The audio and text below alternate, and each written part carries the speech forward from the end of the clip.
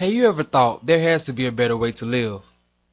If you ask this question to yourself, odds is life is not going the way you want it. Maybe you are stuck working a job and know there is more to life than working almost every day for someone else.